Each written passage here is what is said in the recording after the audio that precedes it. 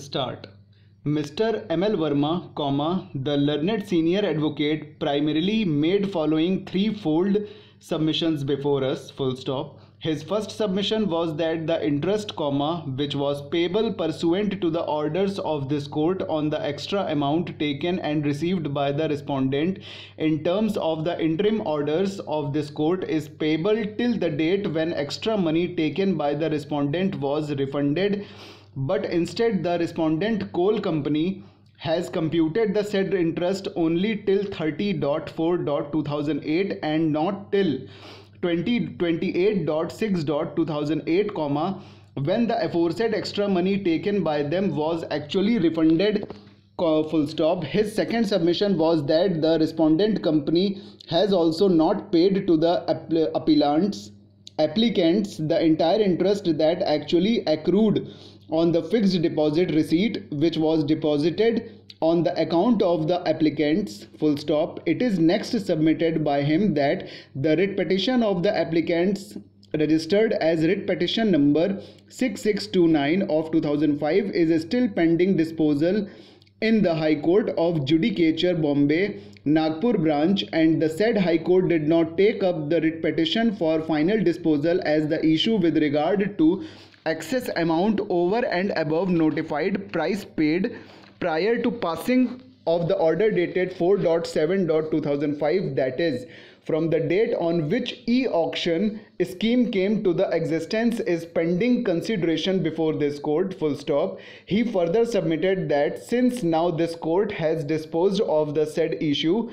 comma there should be a direction to the concerned high court to dispose of the aforesaid writ petition as expeditiously as possible full stop para Mr. Anup Mishra, comma, the learned counsel appearing for the coal company during the course of his submission submitted that they have paid the amount which became refundable to all the claimants who are entitled to receive it inclusive of interest in fixed deposit calculated up to 30.4.2008 as the fixed deposit receipts were time bound and comma therefore comma a fixed date was taken for calculation of the interest which was 30.4.2008 full stop. He also submitted that whatever interest is due and payable to the applicants have already been paid while refunding the amount due and payable to the applicants full stop.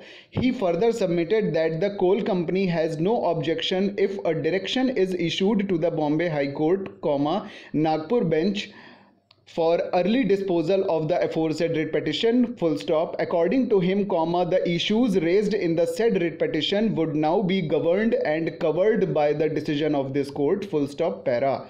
While considering the aforesaid submissions in the light of the pleadings of the parties, we find that the area of controversy and the dispute between the parties, comma, as highlighted in the present application, comma, lie in a very narrow compass for during the course of arguments, Mr. Mishra, comma, learned counsel for the respondent coal company, has fairly stated that the coal company cannot have any objection to pay the interest accrued on the amount payable to be computed up to 28.6.2008 when the amount came to be actually refunded to the applicants full stop para. We also find justification in the claim of the applicants for the respondent coal company had agreed to refund the amount, comma, if later on found to be due and payable with interest till the date when it is actually ref refunded full stop. In fact that was also the intention of the order passed by this court when the interim order to that effect was passed full stop. We may point out that though the applicant in the application stated that the amount was refunded on 25.7.2008 but however during the submissions it was agreed that the same was refunded on 28.6.2008 according to us comma since the applicants were refunded the extra amount deposited by them only on 28.6.2008 they are entitled to receive interest computed and calculated up to 28.6.2008 and not till 30.4.2008 comma for which there is no basis at all full stop friends ये four forty eight पे ख़त्म हुआ है dictation ठीक है मैं आपसे फिर क्या कहते हैं ये आपको डिक्टेशन अच्छा लगे तो आप मुझे कमेंट करिएगा। वर्ड्स की आउटलाइन जो समझ में ना आए वो कमेंट करिएगा मैं उससे बता दूँगा। और आ, मेरे चैनल को सब्सक्राइब कर दीजिए क्योंकि इसमें कोई पैसे नहीं लगते हैं। और जब भी डिक्टेशंस आएँगी आपको ऑन टाइम मिल जाया करेंगी। और इसको शेयर करिए लाइक करिए। ठीक है? चलते हैं फिर अगले डिक्टेशन मिलेंगे। Thank you